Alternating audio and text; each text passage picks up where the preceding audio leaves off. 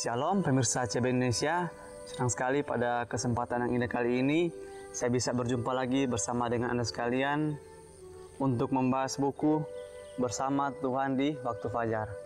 Buku ini dituliskan oleh Nyonya Ellen G. White dan melalui buku ini kita akan diajak dengan doa dan bimbingan darinya kita dapat diyakinkan bahwa pada hari yang mulia itu ketika Yesus kembali untuk mengklaim miliknya bahwa kita akan menunggunya di sana dengan tangan terbuka dan disambut kehadirannya yang kekal.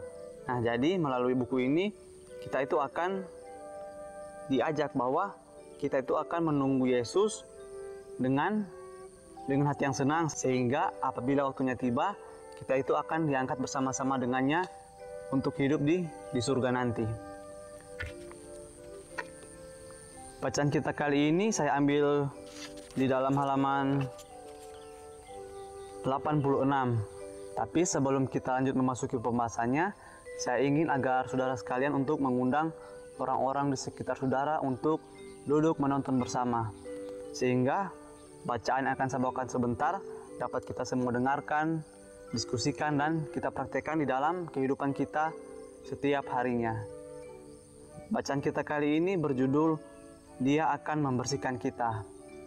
Nah, saudara juga bisa membuka Alkitab dan kita baca bersama-sama di dalam Yeskiel 36 ayat 25. Aku akan mencurahkan kepadamu air jernih yang akan mentahirkan kamu dari segala kenyajisanmu dan dari semua berhala-berhalamu aku akan mentahirkan kamu. Nah, jadi saudaraku sekalian, pada bacaan kita kali ini kita akan mempelajari atau mendengarkan bagaimana Yesus membersihkan diri kita ini.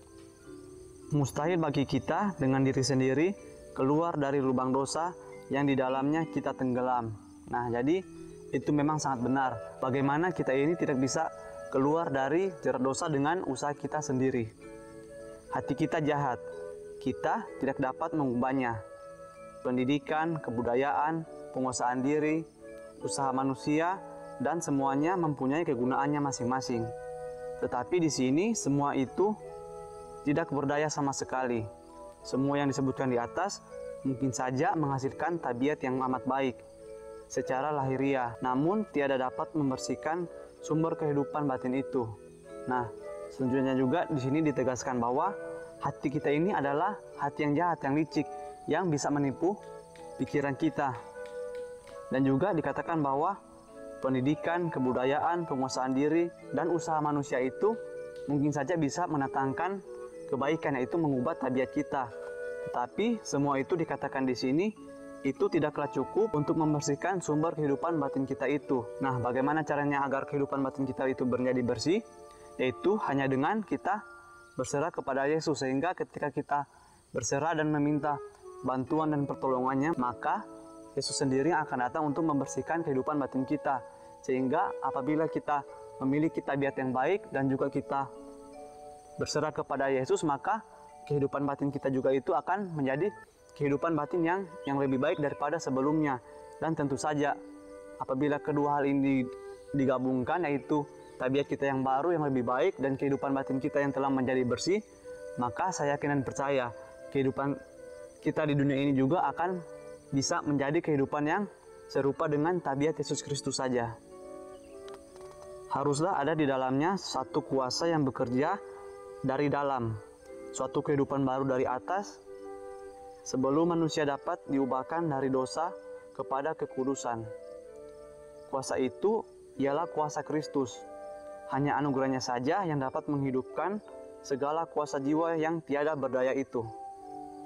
Menariknya kepada Tuhan kepada kekudusan. Nah, selanjutnya juga kita diingatkan kembali bahwa hanya ada satu kuasa yang dapat mengubah manusia itu menjadi manusia yang lebih baik dan kuasa itu tentu saja kuasa dari Yesus Kristus di mana seperti yang kita ketahui bersama bahwa ia rela mati di kayu salib untuk untuk menebus dosa kita yaitu umat manusia yang telah jatuh ke dalam ke dalam dosa. Dan Melalui pengorbanannya, ia mengajarkan kepada kita semua bahwa kita itu harus memiliki sifat yang mau berkorban, di mana kita itu mau untuk menyerahkan diri kita demi kepentingan orang lain. Mungkin pada kehidupan kita saat ini, kita itu masih mau untuk mementingkan diri kita sendiri. Tetapi apabila kita mau berlatih setiap harinya untuk berkorban dari hal-hal yang kecil saja, saya yakin dan percaya kita itu mau berkorban juga untuk hal-hal yang yang besar. Dan tentu saja jika kita melakukan itu setiap harinya maka itu adalah sesuatu hal yang dikehendaki oleh Tuhan di dalam kehidupan kita.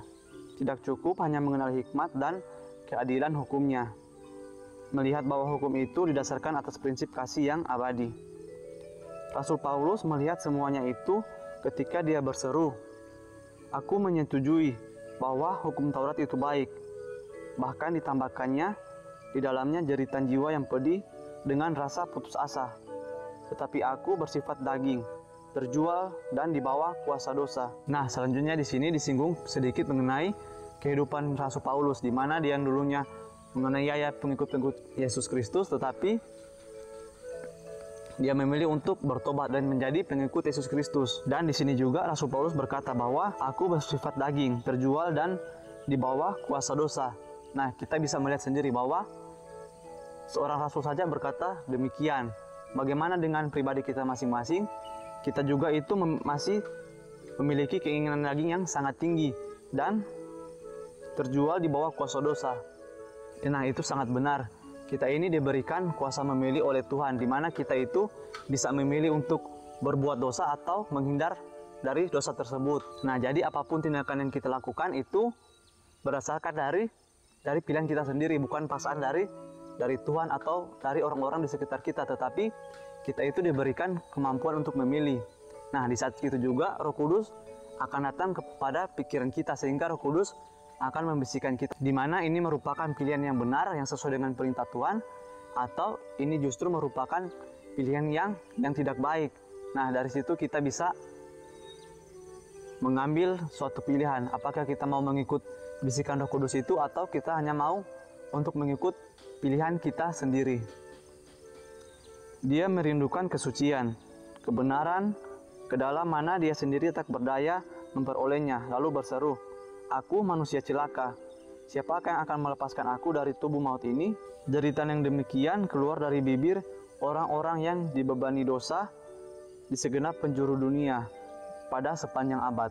Nah, jadi selama kita hidup di dunia ini, apabila kita merasa berdosa, maka kita itu akan berseru, Tuhan bantu saya agar kehidupan saya menjadi kehidupan yang lebih baik sehingga saya bisa membantu orang-orang di sekitar saya. Dan tentu saja apabila kita mengucapkan itu dengan sungguh-sungguh dari hati kita yang paling dalam, maka Tuhan juga akan membantu kita untuk untuk bertobat setiap harinya.